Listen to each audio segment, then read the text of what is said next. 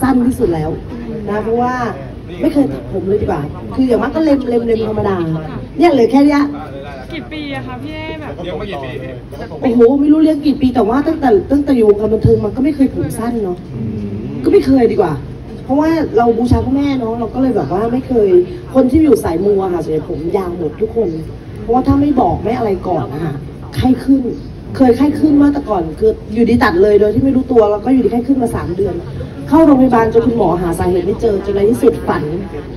ฝันหนึ่งพ่อแม่ค่ะ จนแบบเข้าใจว่าเออต้องต้องไว้ผมยาวถวาย อย่างวันนี้ค่ะจะมาตัดผมก็ก็บอกอันนี้สบายเลยค่ะ เพราะว่าบริจาคด้วยก็ดีใจค่ะ คืออยากให้แบบผมของเราอะค่ะ ได้ไปอยู่บนบนบนศีรษะคนที่เขาเป็นมะเร็งอะค่ะ มันอิ่มบุญอิ่มอกอิ่มบุญใจมากค่ะ ไม่ได้เสียดายผมเลยนะคะ เพราะว่าเดี๋ยวเลี้ยงใหม่ก็ก็ขึ้นมา แต่ถ้าเป็นกำลังใจให้คนคนนั้น มีชีวิตต่อชีวิตเขาให้เขาได้มีชีวิตที่แบบจากเป็นมะเร็งแล้วได้ได้ได้อยู่ต่ออีกหลาย ๆ ปีอะค่ะ เรารู้สึกเราอิ่มบุญมากกว่านะคะ happy ขอบ